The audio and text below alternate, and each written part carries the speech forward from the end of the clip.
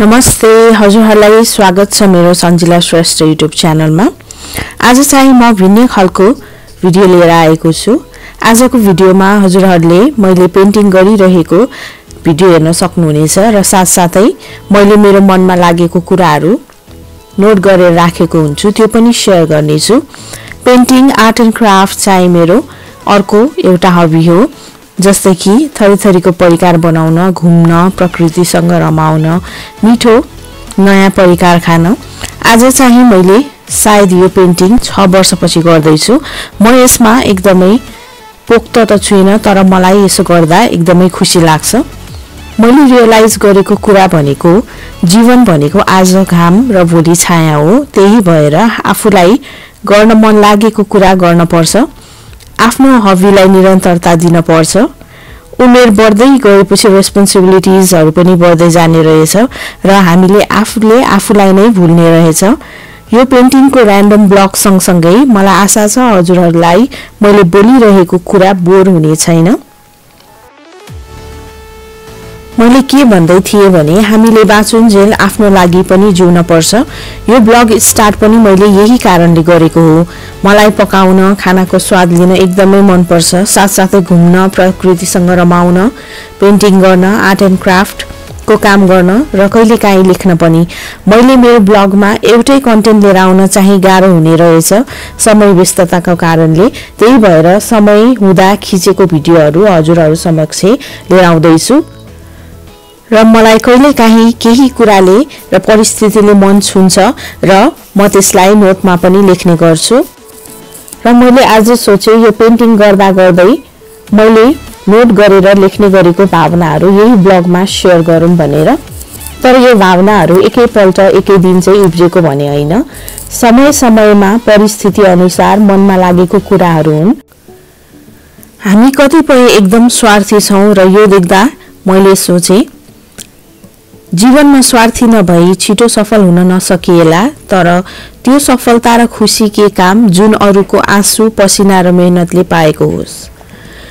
यो कुरा तब लेखेँ जब मैले देखेँ कसैले अरूले गरेको मेहनतको क्रेडिट आफूले लिँदैछ र जसले मेहनत गरेको छ उसलाई ठिक्क पार्न पनि आउँदैन र मैले गरेको हो भन्न पनि सक्दैन।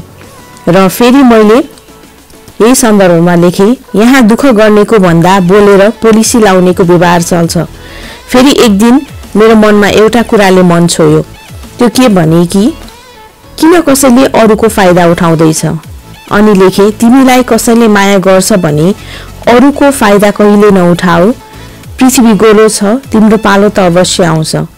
मन पर्दैन भने उसको दिल टुक्राइदेऊ पहिले नै। आज उसलाई दुख्छ तर भोलि ऊ हाँस्न थाल्छ। र जीवनभर ऊ मर्दैन। यो मैले कुन कन्टेक्समा लेखेँ भने मैले देखेँ कि आफ्नो भौतिक स्वार्थको लागि धेरै जसो केटा भनौँ या केटीहरू मायाको नाटक गर्छन् अनि उनीहरूलाई जस्ट युज मात्र गरिराखेको हुन्छ। यो मेरो मनमा लागेको भावनाहरू हो।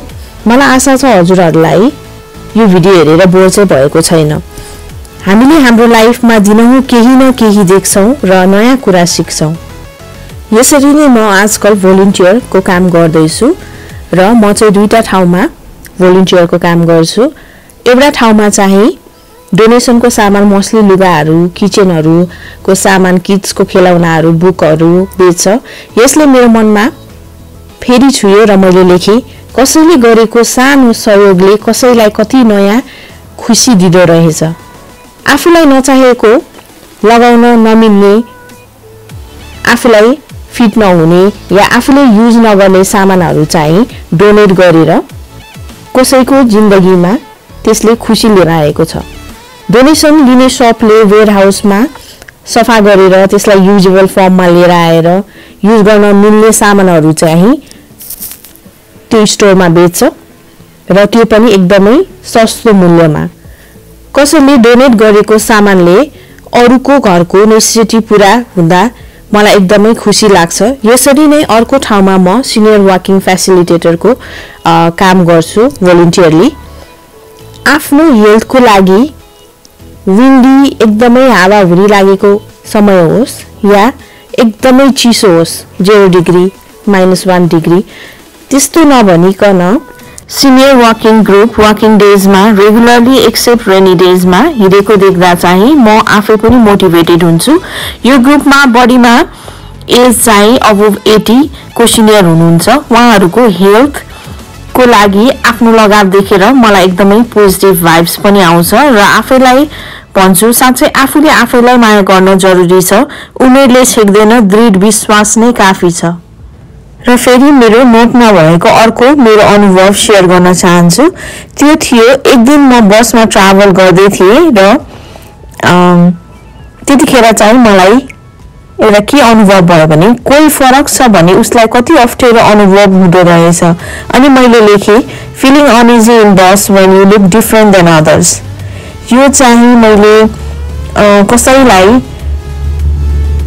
अनकम्फर्टेबल भएको देखेर चाहिँ यस्तो मनमा मलाई फिलिङ्स आयो र मैले चाहिँ नोट डाउन गरेको हो। र अर्को नोट्समा भएको मेरो केही फिलिङ्सहरू चाहिँ मैले यसरी लेखेको छु।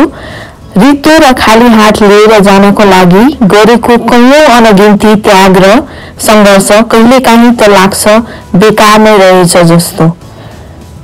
जति ट्राई गर्दा पनि आफूले चाहेको या आफूले यस्तो गर्छु भनेको कुरा नभएपछि चाहिँ कहिलेकाहीँ फ्रस्ट्रेसन जस्तो भयो भने मैले कहिलेकाहीँ लेख्ने पनि गर्छु।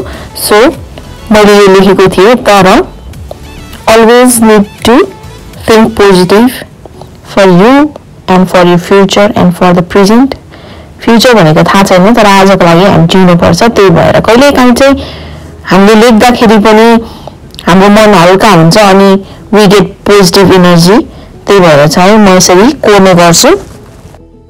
एकचोटि मलाई यस्तो अनुभव पनि भयो। रगतको नाता मात्रले नाता बलियो नहुँदो रहेछ।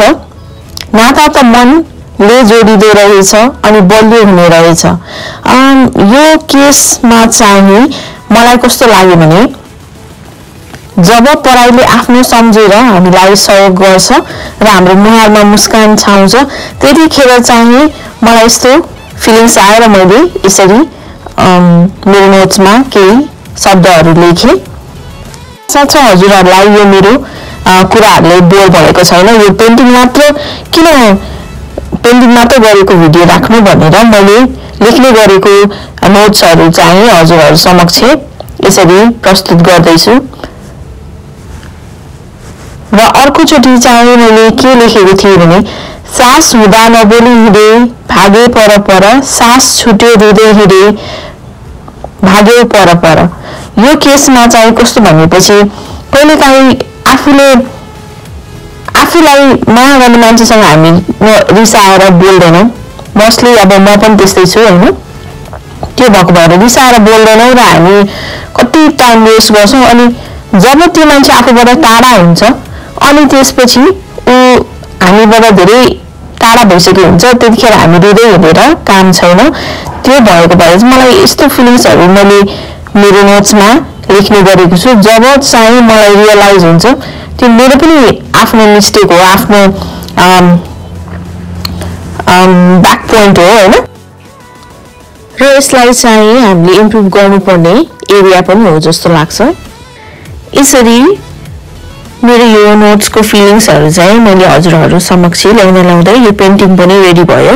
आशा छ हजुरहरूलाई यो मेरो भिडियो राम्रो लाग्नेछ। केही नयाँ फरक प्रस्तुति मेरो यो भिडियो अन्तिमसम्म हेरिदिनु भएकोमा हजुरहरूलाई मेरो मेरो धन्यवाद। म पछि अन्य भिडियोका साथ पनि आउनेछु। हस्त धन्यवाद। By by